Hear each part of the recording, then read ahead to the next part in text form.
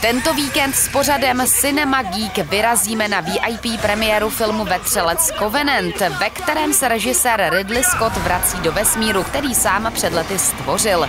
V nejnovější a podle všeho i nejděsivější kapitole se posádka vesmírné lodi Covenant připravuje kolonizovat vzdálenou planetu na druhé straně galaxie.